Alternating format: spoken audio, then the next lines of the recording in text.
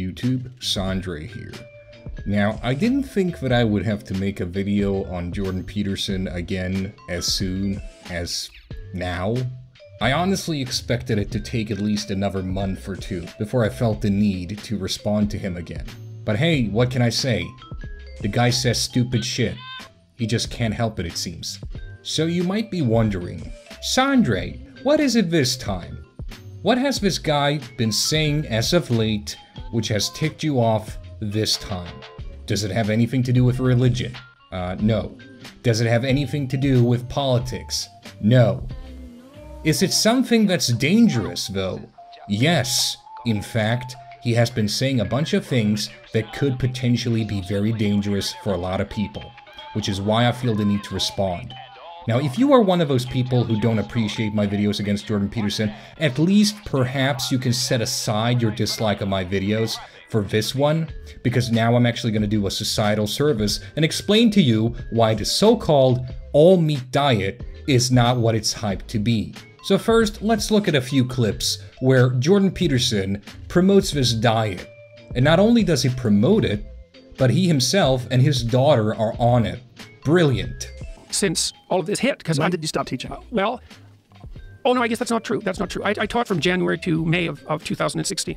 Well, first way it, it changed was that I was like so so shell shocked when I went to to teach last January that, and I was really sick. Like I'm really sick this year. I had like last January, Jesus, it was just dismal. I wouldn't wish that, wish that on my worst enemy. I had three weeks where I didn't sleep a wink.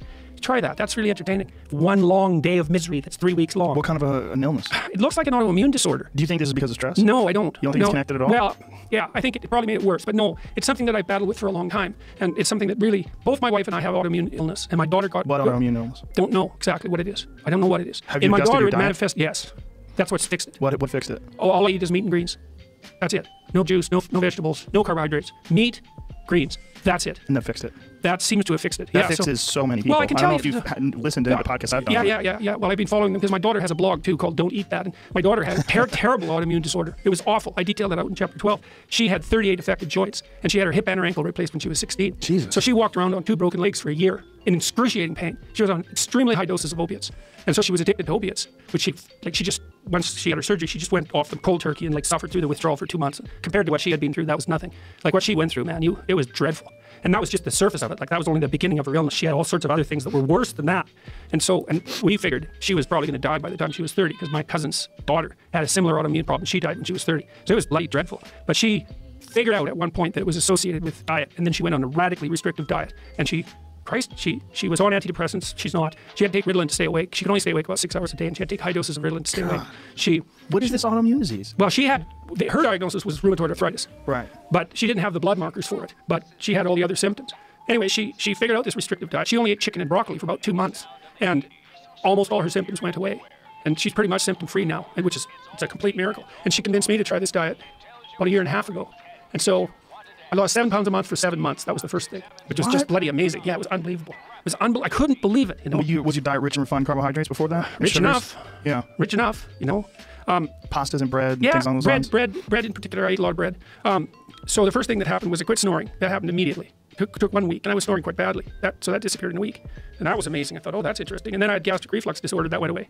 And then I lost seven pounds the first month. I thought, oh, that's a lot. Seven pounds. I had psoriasis. That went away. I had floaters in my right eye, which is also an autoimmune problem. That went away. Um, I have had gum disease for 30 years. That went away. That went away. That's amazing. I'm 55. Like my gum disease went away. It's ridiculous.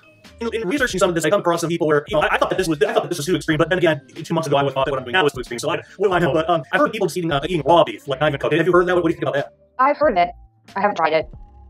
I probably won't try it unless I start getting symptoms. Right. Like, I, if I got symptoms, I would do whatever it takes to get rid of them again. But I don't have any, so I don't necessarily see the need. But I'm very careful to say, like you just said, to say something silly or something strange because what I'm doing is definitely considered strange. So I don't know if it works for people. There, there might be people out there, and that's like, all right, I, I don't know. Yeah, I, I agree. I don't, like any judgment on that. So if I'm honest, I did try a spoonful of uh, long ground beef just to try it. I wasn't really a fan, but that's just Yeah. personally. Yeah, yeah. but I at least tried it. Uh, Yeah. There, um, I've heard some uh, claim, and I'm still looking into this. This is really interesting to me. I don't know if it's all plants or just some plants, but there, there are some people, even uh, uh, medical professionals and stuff, that have claimed there are harmful natural chemicals in certain plants uh, that, that they produce that we eat regularly. And I'm not talking about like Roundup and pesticides stuff. This, is- this is thing that the plant will produce uh, naturally, like harmful chemicals. Uh, what are your thoughts on that? Have you done much research into that? Uh, I haven't done much research into that, uh, but yeah, it's true. Some plants are harder for us to consume because they do produce natural pesticides, so that bugs won't eat them or anything won't eat them. Um, so that could be part of the problem. Right. Um, I'm probably leaning more towards microbiome problems. So we're missing the gut bacteria diversity that we're supposed to have in order to tolerate some vegetables. I also think years of eating grain, like people aren't supposed to eat grain. I mean, cows can eat grain and they have a whole bunch of stomachs. Like, they're not like us at all. Right. Um, so I think years of eating things like that mess you up. And sugar, right? Stuff like that. Even dairy, like I don't think that's something we're really supposed to be eating. And then people say, oh, well, we've been eating this for 10,000 years. Well, what's 10,000 years? Like, really, in the grander scheme of things, that's not very long. Right. And then, and then you can look at things like people are sick, especially North Americans, right, with autoimmune disorders and mental health issues and cancer and heart disease. Um, and if you look in the animal kingdom, animals aren't sick unless we feed them, That's true. and then they're sick. So uh, that seems like a pretty good argument. I mean, like dogs and cats get cancer too, right? But not feeding them meat, and they are carnivores. Hmm. That's actually what they should definitely be eating. And it's still like first ingredients alfalfa. Thing is, I'm not a doctor, nor am I a dietitian, but I am a chemistry student, and I have read advanced biochemistry. And in that course, guess what? We learn human metabolism. In fact, I know just as much about human metabolism as a first year doctor. In fact, in some areas, I went deeper than your average doctor. So trust me when I say that I do understand human metabolism. So let's simplify this. About 2 to 3 million years ago, human beings started to eat meat. Before this, our ancestors had pretty much a vegan diet, mostly consisting of berries and such. Then our hominin ancestors started to eat more seeds and nuts, and from there they got more fat into their diet. Now, as we started to get less fiber in our diet because of this, our bodies finally learned to deal with meat as well. So the question is, what would exactly happen to your body if you only ate meat? Well, one thing that is for certain is you're gonna get fucking constipated. You see, without fiber rich foods such as beans and broccoli, you will get constipated. But that problem in of itself pales in comparison to other more serious issues. You see, your metabolism isn't really made to be completely absent of sugar. Yes, sugar has gotten a lot of bad rap in the media as of late. Rightfully so, we do get too much sugar in our diet. That being said, there is a reason why our body's default mode is to transform carbohydrates into simple glucose. Without these carbohydrates, your body is going to burn fat and break down very important proteins. Now, there is a way for your body to create glucose from protein. This is known as gluconeogenesis. This is what happens in your liver, for instance. In this process, you produce nitrogen, which you then get rid of in the urea cycle, as it's transformed into urea. If you get too much, this can lead to protein poisoning. Thing is, in times of extreme survival, it's actually advised that if the only source of meat that you can get in the wilderness is rabbit, you're probably better off not actually eating the rabbits at all and just starving until you're rescued. That's because rabbit is a very skinny meat, hardly containing any useful fat. And the thing is, you don't just need carbohydrates in your diet, you need fats as well. And even though there's plenty of meats out there that contain a lot of fat, it's not certain that you will get all the fats you actually need from the meats. Some fats are very common in things such as nuts and vegetables, and very hard to come by when it comes to meat. Another concern is vitamin C. You see, humans can't synthesize vitamin C. We need it in our diet. Scurvy was a huge problem when it came to sailors on the open sea because they didn't get any citrus fruits. When people figured out the correlation between a lack of fresh fruit and scurvy, sailors were actually forced to drink raw lemon juice in order to not get scurvy. Now, you could potentially get enough vitamin C if you only ate meat.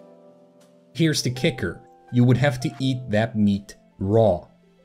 Because only by eating the meat raw do you actually preserve the vitamin C in the meat. Whenever you cook the meat, the vitamin C is destroyed. Without vitamin C, you can't create collagen, which is a structural protein. It's found in your skin, your ligaments, and your tendons. The thing is, though, there is a type of meat you could eat to get enough vitamin C. When it comes to the blubber of whales, you can have 36 milligrams of vitamin C per 100 grams. Now this is more than the 10 milligrams per 100 grams that you would need to avoid scurvy. When it comes to the Inuits, they actually do have a primarily meat-based diet. But here's the thing. You can eat intestine, for instance the liver of animals to get vitamin A. This way you can also get vitamin D. And fish, as we all know, is rich in omega-3s. But the thing is, the Inuits have actually adapted to this diet in a way that most other populations on Earth hasn't. They have a bigger liver, and they also produce more urine to get rid of the increased amounts of urea. Jordan Peterson and his daughter, I guarantee, do not have this evolutionarily developed mutation in terms of metabolism. So, to conclude, could you potentially live on an all meat diet? Yes, but you would have to be an Inuit. And here's the kicker modern Inuits, for the most part, don't actually eat their traditional diet. Most of them have gone over to actually eating a more normal diet with vegetable. Do you know why? Because it's still better. Yes, even though their bodies have technically developed over tens of thousands of years to more efficiently have an all meat diet than most people, their bodies still do better in general by simply having vegetables. So, do I, Sandre, condone the all meat diet? Fuck no. Maybe instead of focusing on telling people to clean their rooms, maybe Jordan Peterson should instead do something actually useful and tell them to eat their fucking vegetables.